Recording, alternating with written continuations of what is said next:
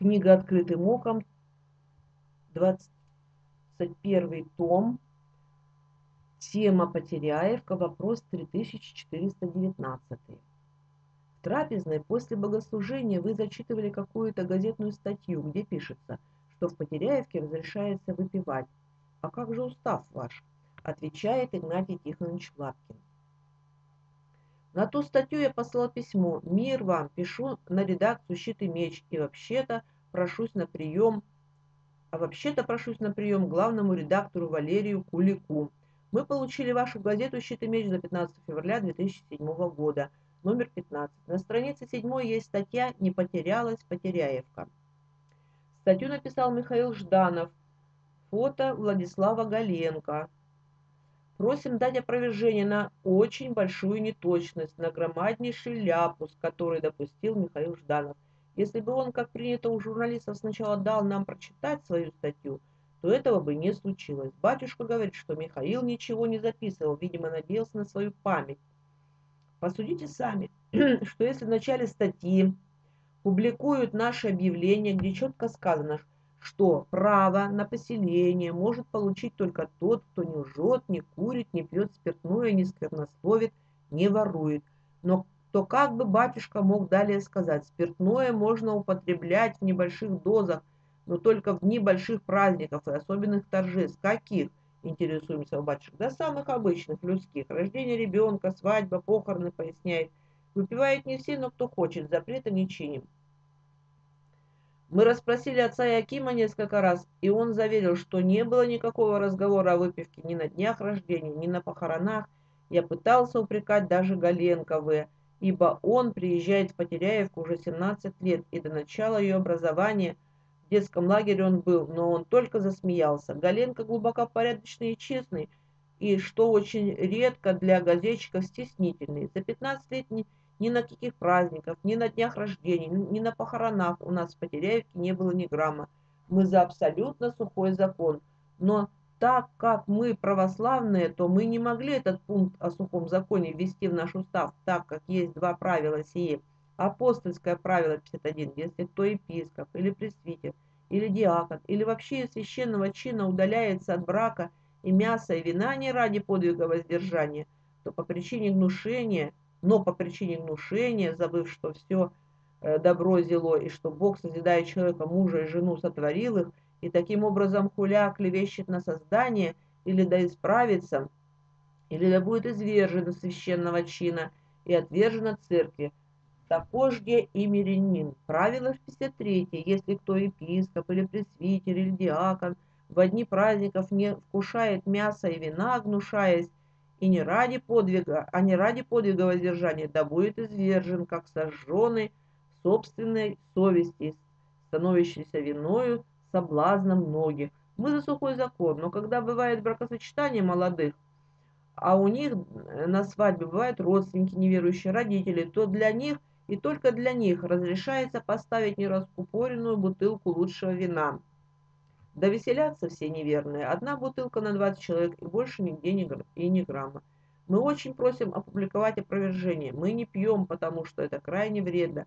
И во-вторых, страна запилась, да еще и мы будем участвовать в этом безумии. Посылая статью о пьянстве, она бы вам немало пригодилась. И в случае с вором Жданов пишет, что вор украл шланги. Да не шланги, а водяной насос. И этот Четыркин Володя с разъезда вор уже сидел шесть раз за воровство. И он приехал на телеге в, в дождь воровать.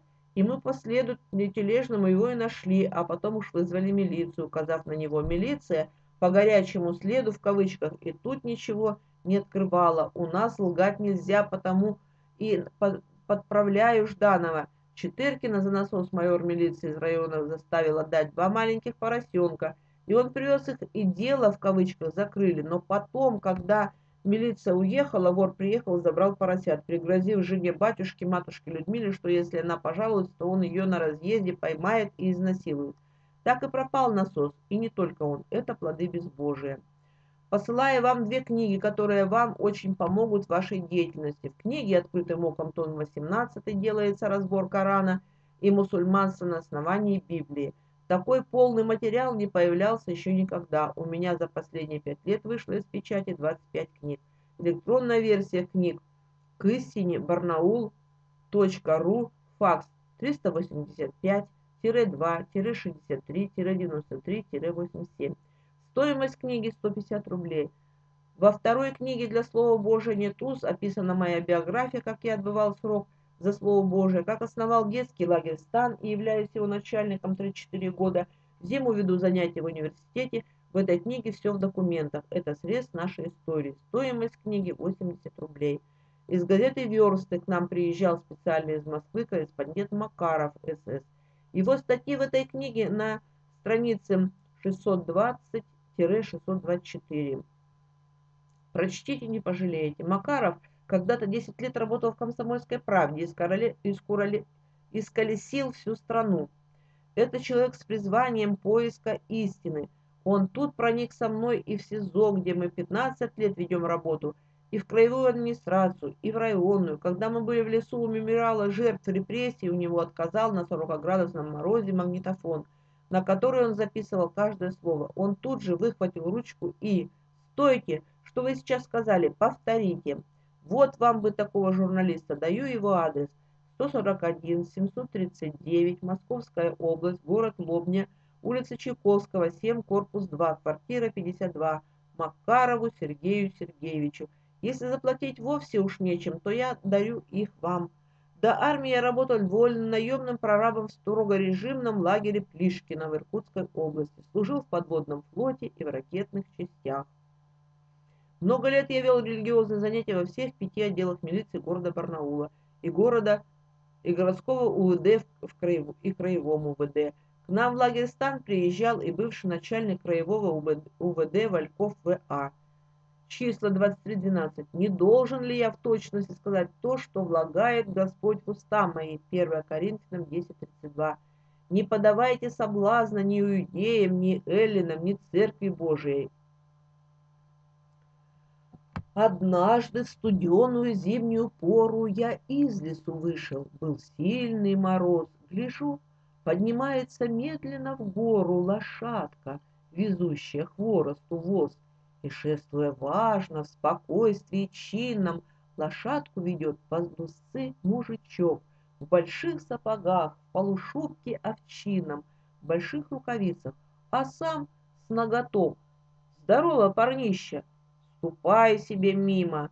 Уж больно ты грозен, как я погляжу. Откуда дровишки? Из лесу вестимо. Отец, слышишь, рубит, а я отвожу. В лесу раздавался топор дровосека. А что, у отца-то большая семья? Семья-то большая.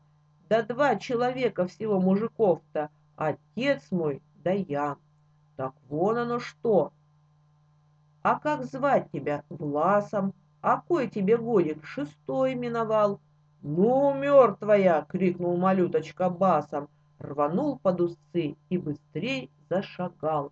На эту картину так солнце светило, ребенок был так уморительно мал, как будто все это картонное было, как будто бы в детский театр я попал. Но мальчик был мальчик живой, настоящий, и дровни, и хворост, и пегонький конь, и снег до окошек деревни лежащий, и зимнего солнца холодный огонь, все-все настоящее, русское было с клеймом нелюдимой мертвящей зимы. Что русской душе так мучительно мило, что русские мысли вселяет в умы, те честные мысли, которым нет воли, которым нет смерти, дави, не дави, в которых так много и злобы, и боли, которых так много любви. Некрасов.